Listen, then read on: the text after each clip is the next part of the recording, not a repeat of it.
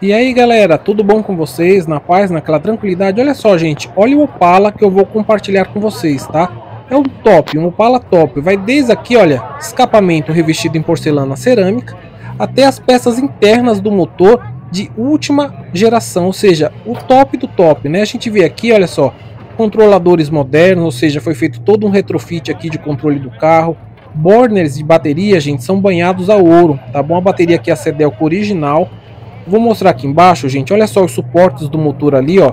São todos niquelados, tá? E a gente vê que assim, tudo muito bem montado. Esse carro foi desmontado a zero e refeito a cada parafuso, gente. Olha só o nível aqui, ó, dos parafusos. E da mesma forma que eu estou mostrando aqui em cima, gente, esse carro é por baixo, ou seja, é um carro de evento, né? Um carro para exposição, tudo do melhor, gente. Olha só o padrão das tampas aqui, dos reservatórios de água, as caixas, gente, de reservatórios, caixas de ar, foram todas confeccionadas, tá? Ou em alumínio ou inox, ou seja, é um carro que foi montado, né? Um carro aí esculpido, uma obra de arte, né? Uma pérola. Ali, olha, tem o contato do André Dopala, o proprietário, né? Um cara gente fina pra caramba e um cara parceiro, tá? Um cara aí que sempre conversa com a gente, deixa a gente gravar o carro ele cromou, gente, olha, todas as peças. Aqui o, o alternador tá em cromo vanádio, né? E as outras peças do suporte, gente, tudo em níquel. Ele tem polias ou banhadas em níquel. Ou seja, é um carro, gente, que dá gosto da gente ver. Eu acredito que é o carro mais bonito aqui de São Paulo e o mais bem montado de São Paulo, tá? Dificilmente você vai ver um Opala nesse padrão de qualidade. Vou mostrar aqui para vocês, olha só que lindo, gente. A pintura, o alinhamento da funilaria, né? A gente não vê uma ondulaçãozinha sequer. Né? Parece um espelho o carro. Roda ele tá usando aqui, olha, gente, a 215/60 aro 15, né? O modelo padrão de época, ele é de 74, um Opala modelo especial 74. Retrovisores, gente, em prata, tá bom? Olha, tudo banhado em prata com o nome Chevrolet. Ou seja, feito aí especial, uma peça exclusiva para o carro, né? As maçanetas também, gente, olha só. Tudo em prata. Vou mostrar aqui dentro para vocês. E vou até me atrever aqui, olha só os revestimentos de porta. Vou até me atrever, gente, entrar um pouco dentro dele para tentar mostrar os marcadores, tá bom? Deixa eu entrar aqui. Olha só, gente, que interessante, tá? Ele tem aqui o marcador de época, né? Ó, combustível e temperatura do motor é, é vintage, né? Ou seja, original do carro. Como tem os retrofits aqui, os moderniz as modernizações, né? Aqui a gente tá vendo, olha só, o contagiro moderno. Eu vou mostrar aqui, ó, é, os detalhes do volante, né? Ou seja, a gente tem marcadores modernos com tudo aquilo que é vintage e personalizações.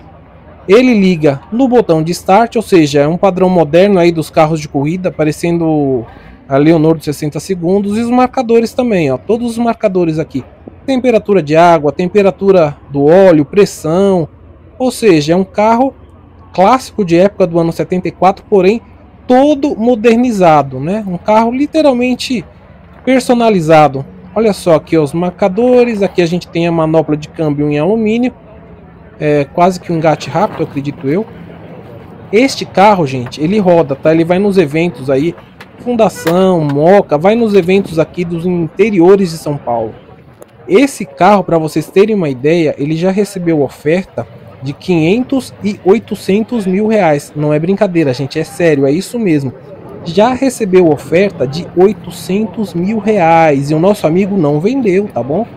É, o último evento que ele foi aqui no interior de São Paulo, bem conhecido o evento de carros clássicos, né? Tem o top do top, aqui é o contato dele, o André Dopala, a plaquinha aqui, ó, para exposição 1974 no último evento que ele foi, meus amigos, é, deram uma oferta nesse carro de 500 mil reais no cash, ou seja, 500 mil reais no dinheiro. E é claro, né, ele recusou, é um sonho realizado, gente. Você venderia o carro se fosse seu? Olha só aqui atrás, ó. O acabamento. Toda vez que ele tá com esse carro, gente, eu vejo que ele faz algum melhoramento, algum aperfeiçoamento do carro, tá bom? O último que ele fez, eu vou mostrar aqui para vocês, ó, esse tanque aqui de inox. Ou seja, ele mandou confeccionar um tanque de inox para o carro. Tá? Esse tanque aqui, ó, todinho confeccionado. Ou seja, ele não fala muito de valor de investimento.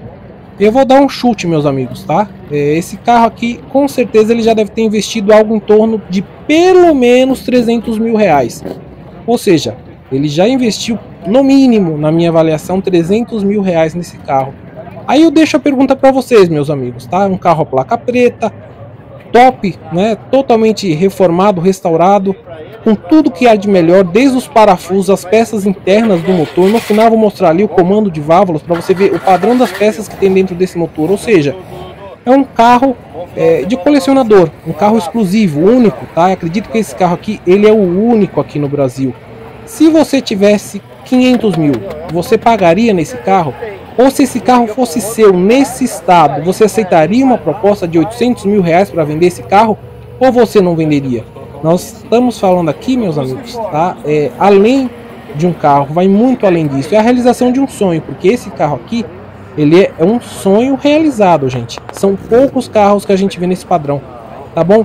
Fala aí, gente, ó comentário respeitoso, por favor. O que, que você acha? Você compraria um carro desse por 500 mil? Você venderia por 800 se você tivesse uma proposta e se fosse seu? É isso aí, tá bom, galera? Forte abraço, ajuda a compartilhar o canal, deixa aí a sua opinião, tá bom? E se inscreve no canal. Para fechar, gente, olha só como que é dentro do motor do carro. Espetacular, não é mesmo? Forte abraço, galera.